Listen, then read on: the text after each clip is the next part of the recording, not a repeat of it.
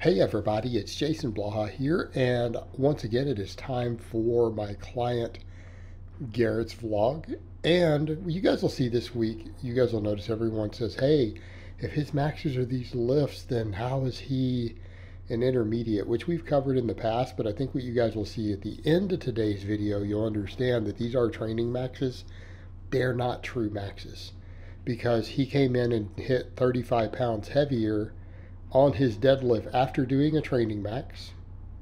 After doing a training max, he came in and hit a 35 pound heavier because he wanted a good PR going into New Year. Okay, so almost 10% higher. So for his bench, we hit 240 in this phase for his training max, and this is what we program off of.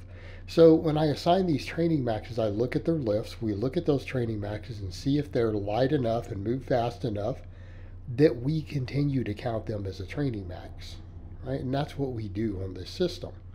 So in keeping with what we've been doing, you guys will notice there's not a lot of variation so far in his supplemental work. What do, what do we do? On upper days, we do our benching or our pressing right, with boring but big, so 5 by 10s. And then right now we do dumbbell presses, dumbbell rows, or weighted pull-ups. Well, actually, body weight pull-ups. We, we do pretty high reps for him. So this is this is pretty much what he does. And then we've started adding more band face pulls. So he also does some band face pulls on off days because he needs more upper back. Now, a lot of people say, well, Jason, where's the arm work? Uh, he doesn't need that much arm work right now. Right now, we need to be focusing on his his legs. Right, he needs more legs. He needs more pec. These are the things that he needs to get his lifts up. Right? And so this is what we work on. It's not to say we won't change that in the near future. And that's what we keep in mind with this training. We change these things, right? So at the moment, I feel like his pec development has come along really well. We've done tons and tons and tons of dumbbell benching. I might change that up a little bit and put a little more delt work, a little more tricep work coming up. Right? We might do that. We might add some extra bicep work in. Right? We might add some bicep work in, particularly if I take him to all rows and take the pull-ups out. So this stuff is subject to change. Uh, squats, he got a 285 squat 285 squat. And as you guys saw and noticed, it was a training max. It's not a true max.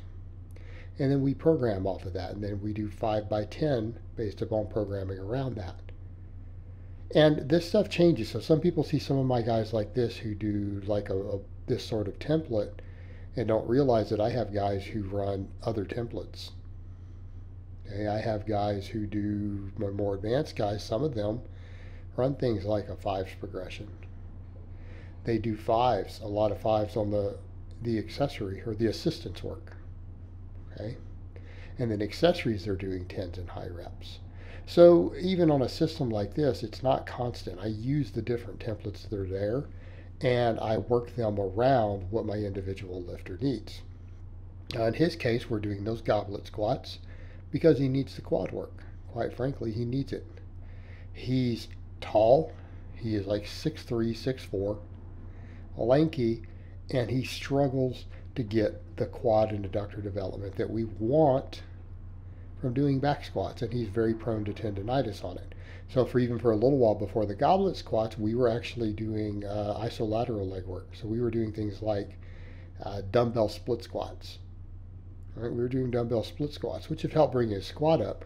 But, you know, the goblet squats work really well. And again, people will look at something like the goblet squats and they'll go, well, those are so light even for what he squats. Like, how does that possibly work? Because if you've done a heavy ramped up to a peak set, and then you've done five by 10 on back squats, your quads, adductors, glutes, and everything are very fatigued already. We are then coming in and essentially doing bodybuilder type pump work. Okay, and it doesn't need to be to failure. And this is something that, that I'm having to try to stress to a lot of my clients and I stress to a lot of you out there. You guys who are out of shape and go, I don't have any work capacity. Well, quit training to failure. Okay? Start using weights for your work sets at your 5 by 10s that you can actually complete all five sets of 10 with without grinding the last set so that you still have a rep in reserve to two reps in reserve on the fifth set. If you guys would do that, your work capacity would go up and you will grow because keeping in mind the research doesn't even show that failure causes more muscle growth. It just beats you up. We need challenging quality sets. And with a lot of this volume work, we're trying to get metabolic fatigue. Right? We are literally doing it as pump type bodybuilding work. But we're doing it off the back end of heavy work first because every single workout starts with a weight that's at 85% or higher of a training max.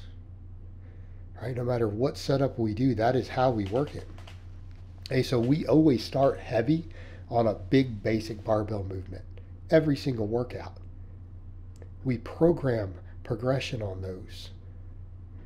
Then we come in and do RPE type pump work with all the other stuff. Uh, his overhead press, by the way, he got 150. So again, PR. Deadlifts. He was supposed to do 370. He pulled it, and then watch him right here. He ends up pulling 405. Right? He pulls 405, holds it at the top.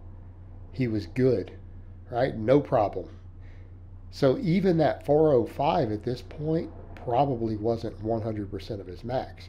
He wanted to grab it because he knew based upon his rep work he was strong enough. He did it without consulting me. I sometimes get mad. One of my other lifters got hurt doing the same thing this week who was less advanced than him. Right? It was a sub 400 pound lift. Right? Who decided after their training max to do the same thing he did, they got a minor injury. Right? They got a minor injury. Fortunately, he didn't difference between being a little more experienced. And then again, off the back end of this, we do deadlifts for 5 by 10 and then we do good mornings. Hammering the posterior chain and the entire thoracico-lumbar sling, right? Because between deadlifts with that much volume and good mornings, right, the entire posterior side of his body's been worked. Everything from his hamstrings to his traps. So we don't really need anything else on this day. But this was a very successful week. We got some really good training maxes in. He came in and hit a lifetime PR, a milestone lift on his deadlift. All right. Now, I will note here, I don't like these good mornings. I'm seeing too much extension to the back. Sorry, too much flexion to the back, not extension. All right. Again, he's struggling with these we may need to reduce the weight again and go back to a little tighter on the uh, reps in reserve. All right, guys, but that's really all I have to say on that today. I hope it's been informative, and I will talk to you guys next time.